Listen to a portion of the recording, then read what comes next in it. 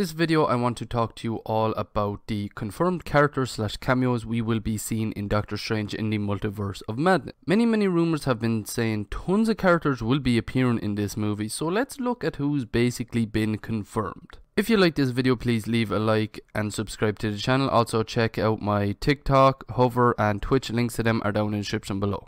The first person we're going to talk about is Professor X, played by Patrick Stewart, which is 100% been confirmed when we heard his voice to seeing him in the iconic wheelchair from the cartoon TV show from way back in the day.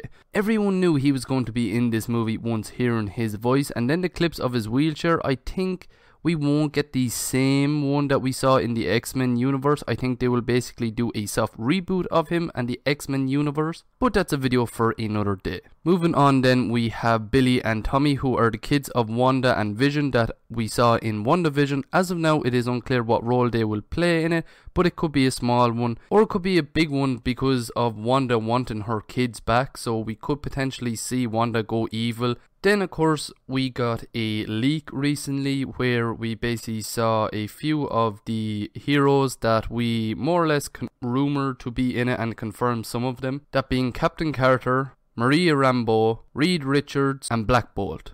So Captain Carter is being played by Hayley Atwell, which we saw in the What If series and then in the other clip that we got the, the TV spot we got recently also confirms Captain Carter is in the Doctor Strange in the Multiverse of Madness. Of course Maria Rambeau who will be playing Captain Marvel variant last time we saw her was in the Captain Marvel movie. From many of the clips that we have gotten also basically confirms that she is in this movie. Black Bolt from the Inhumans played by Anson Mount and of course with the Illuminati it makes a lot of sense and with the Illuminati also brings Mr. Fantastic aka Reed Richards who is going to be played by no other than John Krasinski. If you watch the leaked footage that I have on your screen now basically confirms it and I am super hyped.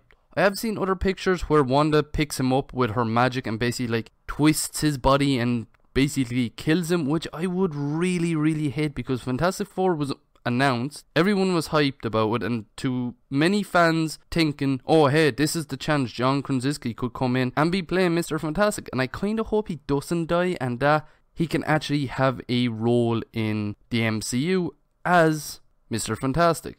Of course, we have the ones that we already know, like Doctor Strange, Wanda, Mordo, Wong, and America Chavez, all played by their respected actors. And we kinda also got Bruce Campbell confirmed as well. And people have been asking if Tobey Maguire Spider Man is in this movie. I would say no. However, if they wanted to, they could do this, and if he is, or if they even go down this road, I could see it where they do something where they end up in his universe and they show us what an older version of Spider Man is doing. Did he get the girl? What his universe is like now from where we last left off and what he works at and what his life is basically like now.